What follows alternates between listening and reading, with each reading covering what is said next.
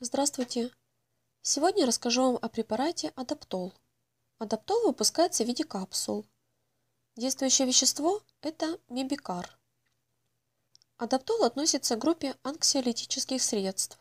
Имеет умеренный транквилизирующий эффект. Уменьшает или устраняет ощущение беспокойства, страха, тревоги, раздражительности, эмоциональное напряжение. Применяется при неврозоподобной симптоматике, неврозах, эмоциональной лобильности, страхе, раздражительности, тревоге. В комплексной терапии с целью купирования соматовегетативных, неврологических неблагоприятных побочных эффектов нейролептиков. Также улучшает общую переносимость этой группы препаратов.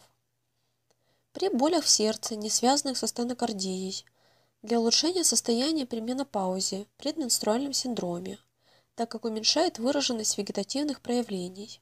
При оксидантном стрессе различной этиологии, как адаптоген и церебропротектор.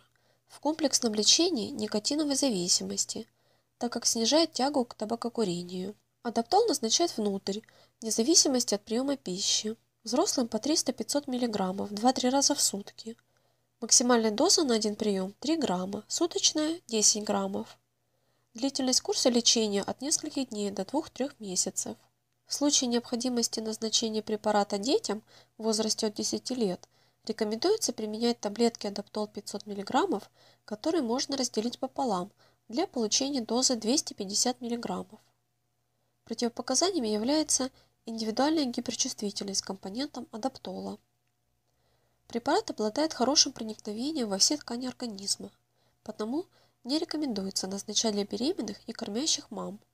Спасибо за просмотр, будьте здоровы! Ставьте лайки и подписывайтесь на наш канал.